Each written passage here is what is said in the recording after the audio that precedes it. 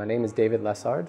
I'm a partner and design director uh, at H plus A, uh, a recently launched uh, boutique design practice focusing on healthcare, hospitality, what we like to call lifestyle residential projects. So the launch of H plus A was really sort of commensurate with uh, various factors. Both my partner Stas and I had really both come to points in our careers where we felt like we hit a little bit of a plateau, that we gave all the emotion and sort of energy that we could give uh, to a larger studio, which both of him uh, and I are from. We also came to the realization that the most important thing to us is the work. We wanted to create this opportunity for us to focus on the work day in and day out, meaning getting our hands back on the tools, getting back into the sort of design methodology and ethos, which you tend to lose, uh, all of us do uh, as senior people in larger practices.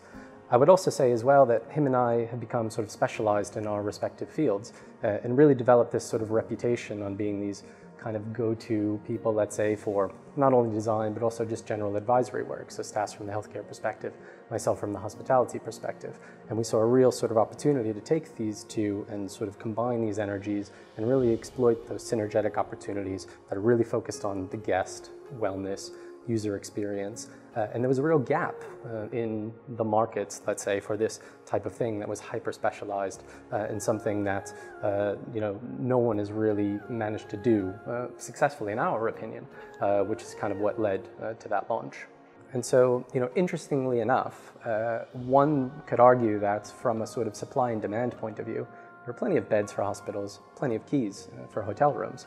Uh, but this, to us, was the opportunity. Why? Because it is no longer this volume, supply, and demand game that clients are playing here. It is really clients that want to go into the market with a differentiated product. And that differentiated product really needs expertise and specialized sort of force behind these to do something that is unique and, and really sort of stands out amongst the competition, uh, quote unquote. And uh, it's kind of clients that have you know, more so than anything else, led us to that decision. They wanted more access to us, they wanted to work directly with us. Uh, and in larger firms, for the types of projects that they had in the sort of pipeline, it wasn't well suited to that, and that's kind of led us to, to where we are today.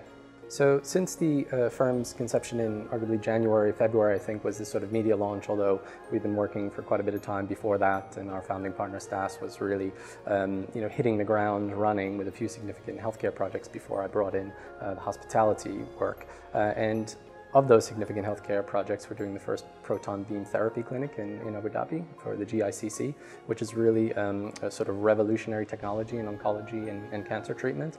Uh, bringing that technology to the Middle East really opens up a whole sort of uh, plethora of opportunities for medical tourism and, and sort of wellness.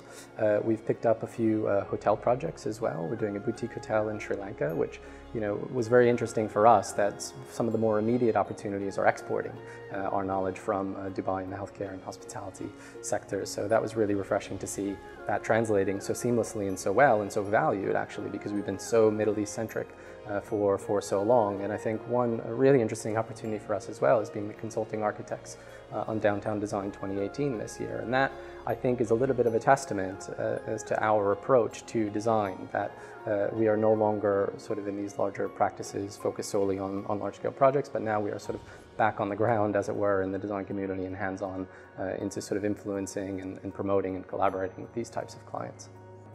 Uh, as a small practice, it's natural that we're starting with small projects.